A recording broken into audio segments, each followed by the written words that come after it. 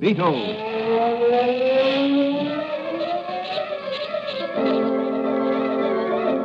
Sweeping down upon the underworld to smash gangland comes The mysterious, all powerful character who is a problem to the police, but a crusader for law. In reality, Dan Garrett, a rookie patrolman, loved by everyone, but suspected by none of being the Blue Beetle. As the Blue Beetle, he hides behind a strange mask and a suit of impenetrable blue chain armor, flexible as silk, but stronger than steel.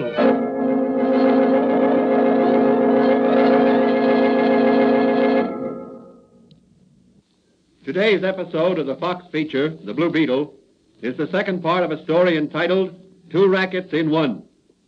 In the first episode, several trucks belonging to the Intercity Trucking Company have been wrecked or damaged by fire.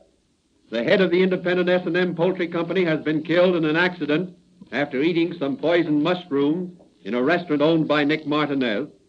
And both the Intercity Trucking Company and the S&M Poultry Company have refused to join or pay tribute to so-called protective associations which Dan Garrett believes are operated by Julio Martinez, wealthy brother of Nick. Also on the same day, J.L. Williamson, president of the Drovers and Provision Dealers Bank, of which Julio Martinez is a director, has been killed by a bomb attached to the starter of his motor car. As the episode ended, the Blue Beetle, who interrupted a gay party at Julio Martinez's home in the hope of bluffing some compromising admission out of him, is involved in a fight with Julio's hireling. As he is chasing Julio, he is tripped up by a lariat in the hands of Mexican Pete. The crooks, before fleeing, gag and bind him and string him up by the feet from a large crossbeam as the sound of police sirens fade in. Good thing those crooks didn't put that gag in tight. Now, if I can just double up like a jackknife, free my hands. There, my hands are free. Now to double up. Grab the rope. Got it. Hello there. Open up. It's the law. Why not break in the door, Manigan? I'm not breaking in any man's door to ask him some civil questions. Besides, we ain't here to make an arrest. We're just here to question Julio Martinez or Martinet or whatever his name is. Well, a man with a name like that can't be on the level. Maybe he's a crook. And what makes you say that? Well, he's a foreigner, ain't he? Now look who's talking. And you, one generation out of County Kilkenny and Ireland. Are you a crook, Officer O'Toole? Well, uh, that's different. Oh, it is now. Well, maybe he ain't home. And maybe your mother's cat had kittens. Well, why don't you try the door? Maybe it ain't locked. And maybe you'd like a kick in the shin. There, see? Just what I told you. Ah, shut up. Anyway, I did my duty according to regulations. Hey, look, Mike. There's a rope hanging from that beam. Maybe Martinez... Hung himself and his ghost is hidden his body. Well, well, all right. What'll we do now? Well, we'll report back to headquarters. Come on now. Maybe the chief will send us out here again in the morning. Gosh, that was close. Lucky that beam was wide, or Manigan and O'Toole would have spotted my Blue Beetle armor. Now to get down and make a little search among Julio's private papers. He didn't take them with him. The Blue Beetle's going to put Julio Martinez and his gang behind bars.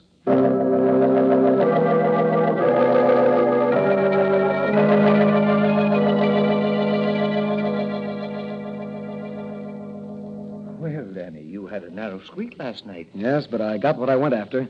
Listen to this. I found it among some burned papers in Julio's fireplace. What is it? It's a letter from J.L. Williamson, president of the Drovers and Provision Dealers Bank, to Julio Martinez. Incriminating? Very. Part of the letter is burned away, but enough's left. Now listen.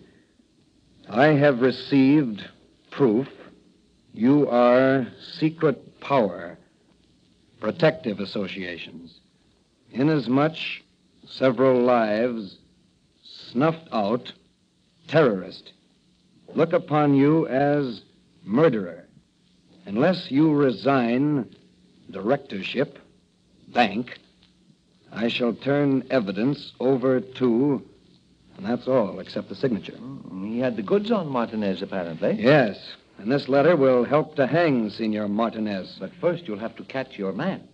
Didn't you say you heard him tell his men to meet him aboard his yacht? That's right. Well, what are you going to do? The Blue Beetle is going to commandeer the fastest plane he can find and scour the seacoast. Well, so long, Doc. The Blue Beetle's going to fly high, fast, and true. Tomorrow at this time, the trucking and poultry rackets will be smashed.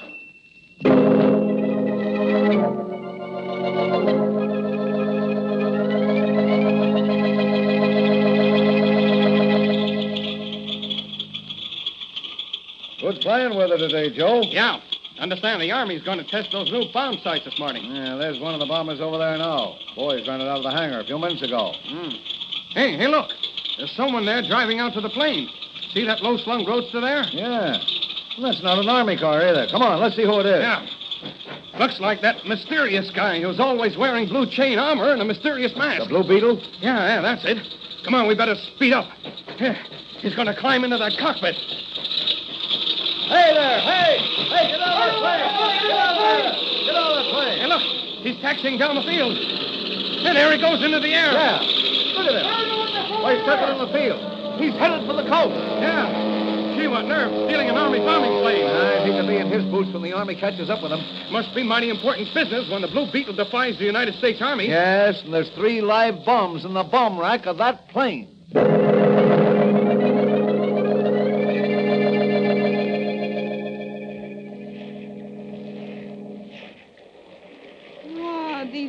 Yacht, she's beautiful. And the weather, she's beautiful. And. the- Conchita, she is beautiful. Ah, I like a man who owns big yacht. I think Conchita marry man who owns big yacht. How you like, Julio? Uh, that is matter we will discuss when the other matter is adjusted. What do you mean? There is much work to be done. Money to be made to be sure his mouth will be closed permanently. You mean the Blue Beetle? The Blue Beetle is now in the hands of the police. They will not believe him. I have destroyed written evidence, but there is human evidence that must be destroyed. Ah, you are a ruthless man. Conchita love ruthless man. beg pardon, Senor Capitan. There is plane off there, sir. Moving fast this Oh? Hmm.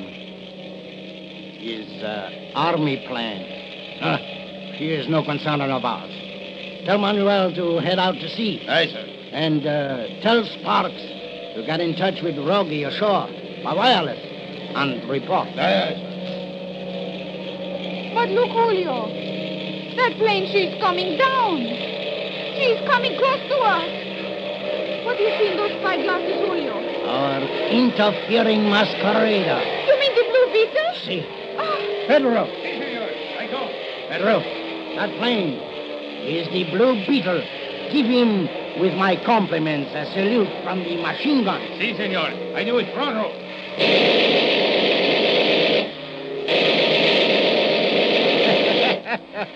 Ah, Pedro is one good shot, huh? gee. Mr. Blue Beetle does not like our salute. He has fly away.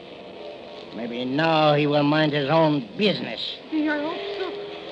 But look, he's coming back. So? Well, if he wishes more salutes, we give him plenty. But maybe he'll give us the same thing. Conchita no like bullets. You go below, Conchita. I do not want you to be hit. Si, senor, I go downstairs. It is not so noisy. Hey, look. He's diving right for the ship. You'll be just a bit. That's a bombing plane. Hey, release the bomb!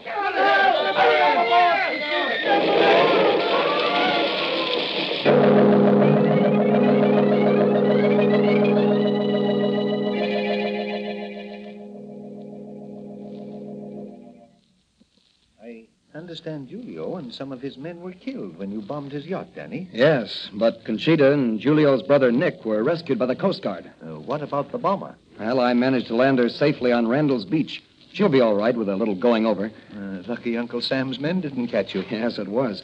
As soon as I beached the plane, I dived in again and swam mostly underwater to Ellis Point.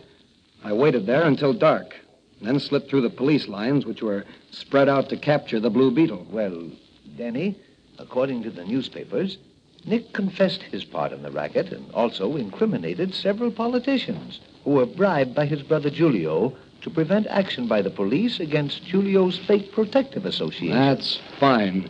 If it weren't for crooked politicians, these business rackets couldn't flourish as they do. Well, they don't last long after the Blue Beetle starts nipping. The Blue Beetle will continue to nip as long as there are crooks preying on honest businessmen.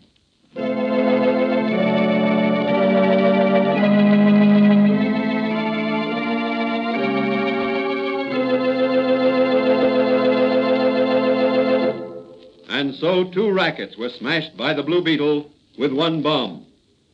The lesson of this story is that the rackets in this country are being rapidly eliminated by aroused citizens and the agencies of law and order.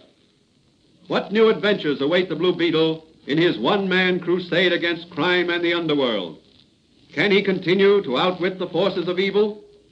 These questions will be answered in the next adventure of the Blue Beetle.